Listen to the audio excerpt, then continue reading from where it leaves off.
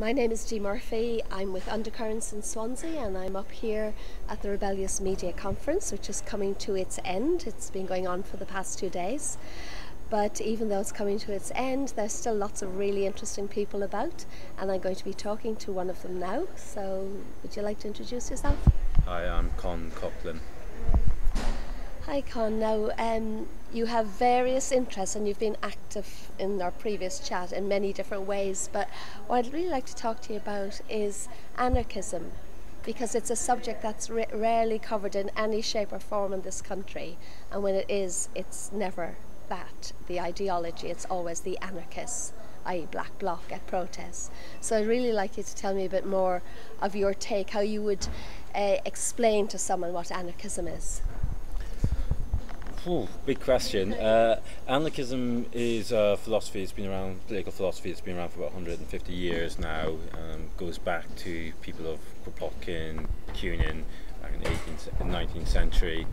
Um, and over the intervening years, it's grown, it's developed, it's taken on life.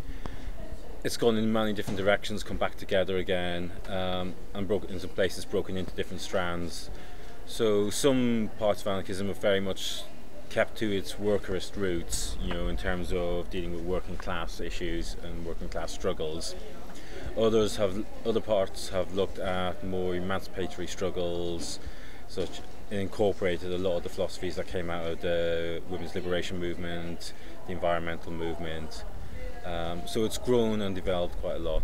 Would you say there is one particular strand of it that's most active today, or the one, the strand that excites you most?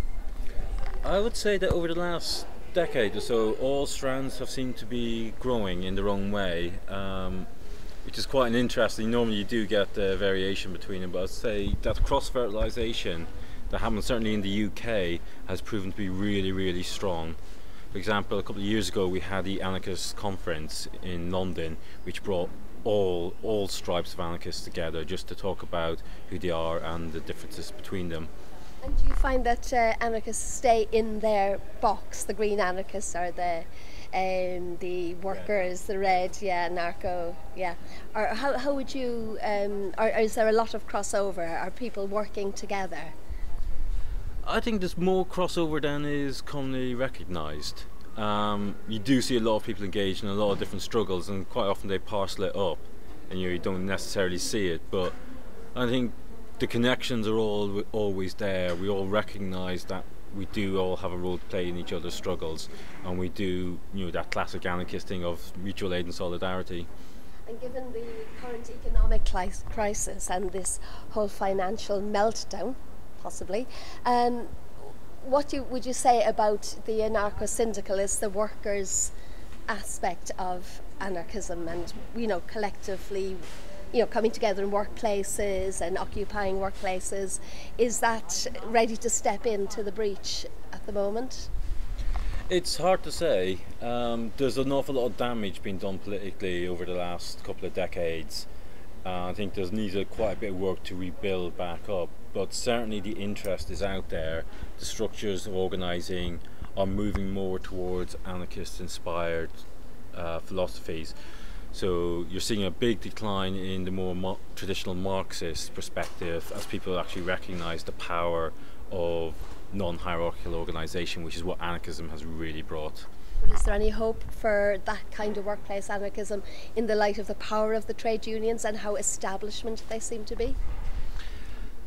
I have to say, at this conference here, you know, I've seen more discussion about alternative trade unions and people looking at, you know, trade unions that are more representative. For example, the uh, IWW. I think, you know. Would you explain that to those listening? IWW is the International Industrial, sorry, Industrial Workers of the World. It's one of the oldest unions still going.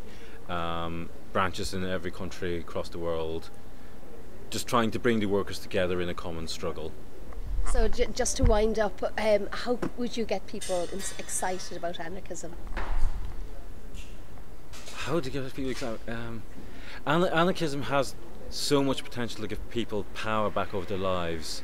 And once you get over that bridge of people taking responsibility, they become so excited. They, you just see people's eyes being opened. I think the more we can see just how much power we can return to our ordinary everyday lives, that's when anarchism will really, really grow.